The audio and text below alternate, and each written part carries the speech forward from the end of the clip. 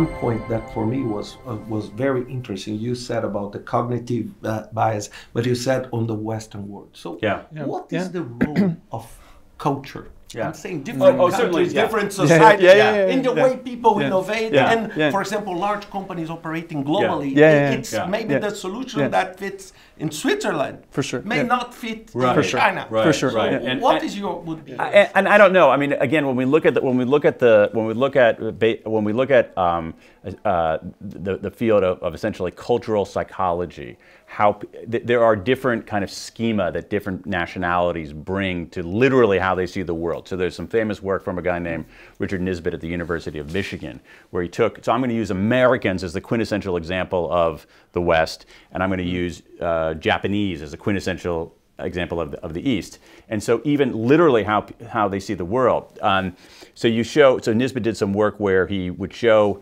uh, an aquarium to a group of Ameri- to Americans, and then he would show it to Japanese. So, and the aquarium happened to have a very, you know, like a single, lot of fish, but a single large fish. And so what do the Americans see? They say, I see a giant goldfish right, right there. What do the Japanese see? Describe the scene. Oh, I see some plants in the background as part of the, and so you have a greater move toward context and a greater move toward basically background and foreground. Uh, you see it in the work of Michelle Gelfand, who talks about certain cultures, and it goes directly to explore and exploit.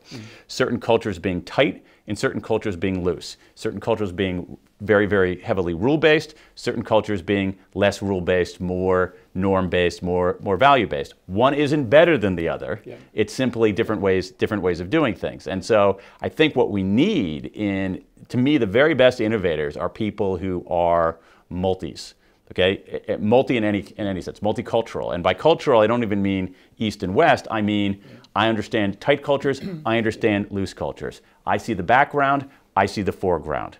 Um, i know that personality matters. I also know that context matters. And then it goes into you know one of the things that always amazes me being in a place like finland as an american is how many people are multilingual in a way that they are not in the United States. And so it's really just a matter of, I think that the key attribute at the personal level is multiness.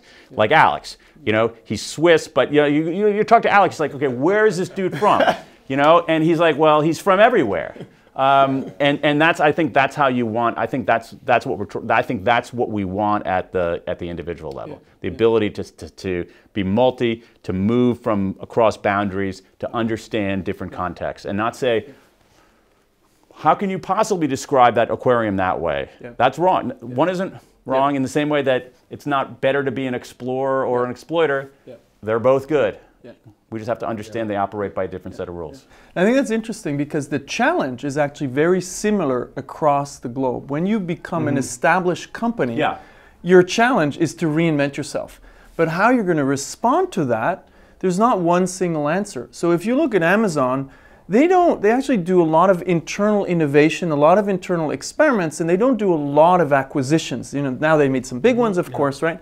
That's very different from a Tencent or Alibaba Yeah. that invest in hundreds of startups. Mm-hmm. So it's a different response to the same kind of challenge that you need to explore, right? So we know what kind of actions can be taken, but it's a mix of actions. It's about inventing, it's about exploring, it's about acquiring, it's about investing.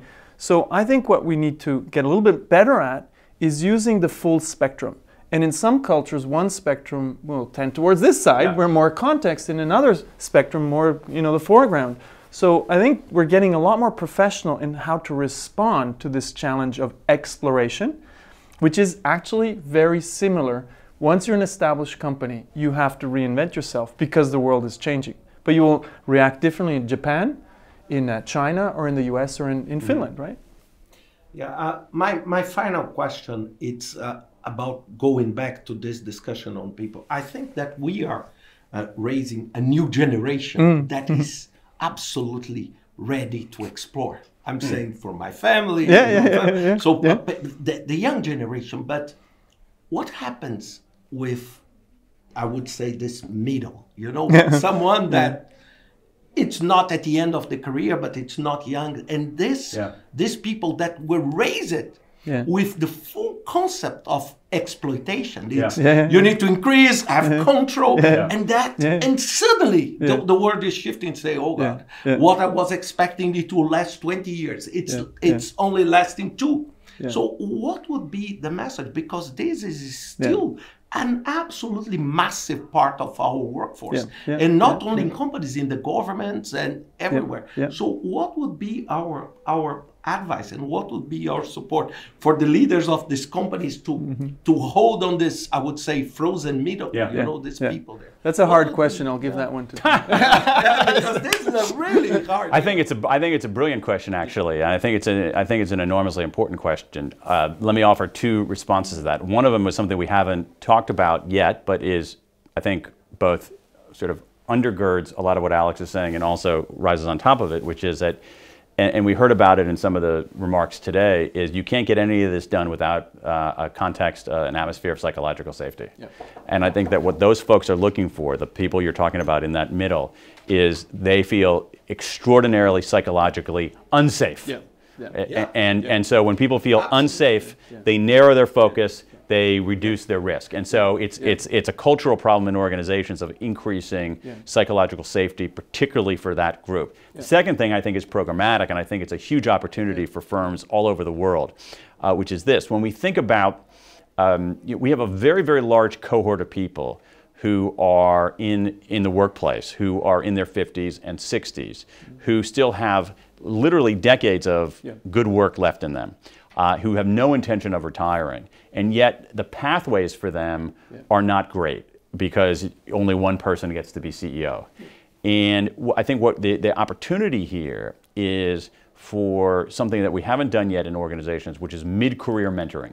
We do mentoring for oh. people at the beginning of their careers. We do no mid-career mentoring, and I think that that remain that, that is a massive opportunity for firms, is to establish mentors for people in mid-career and say, what does you're 50 years old?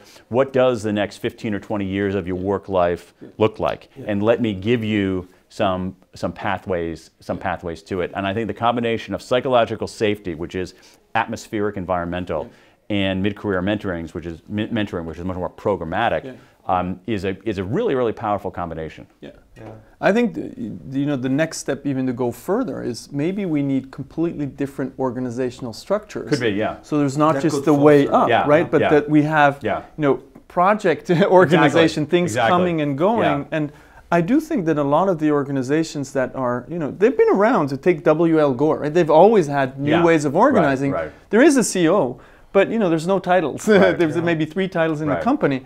So they Right. continuously change and they create almost like an internal job market Yeah. where people feel that safety and they move around. Obviously, it does create challenges because you know you don't want to be too laid back because otherwise people are just going to you know hang out and you're still a company. You need to create value.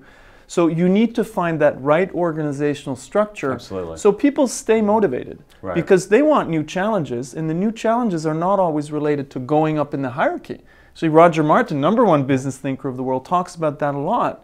That maybe today we need to find new ways of rewarding people and saying it's not just the hierarchy up, but it's more challenging projects. right? Absolutely, absolutely, and that's that's partly it's it's structural. It's also just being a little bit more inventive on Yeah. What job what jobs are, Yeah. what what job what what what jobs jo- jobs exist. And some tech firms do this already. Yeah. You know, where you have you know someone who's an extremely accomplished, say. Uh, bench scientist who doesn't want to become a she doesn't want to become a, a manager so we make her senior scientist Yeah, yeah. or some some companies have fellows or things like that. So again, if, let's go back to this idea of psychological safety at the cohort that you're talking about. People feel psychologically unsafe. The people you're talking about feel psychologically unsafe because they're 50 years old and they don't see a path.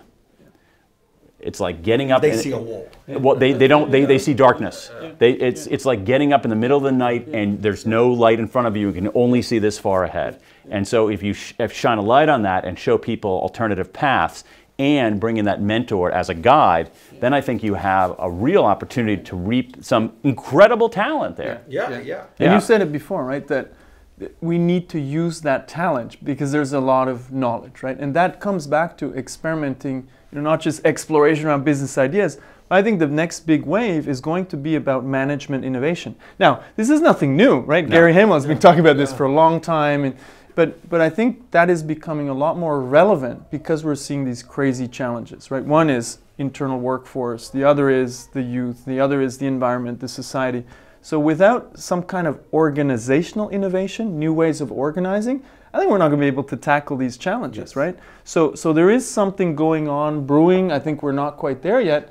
Some organizations have done it.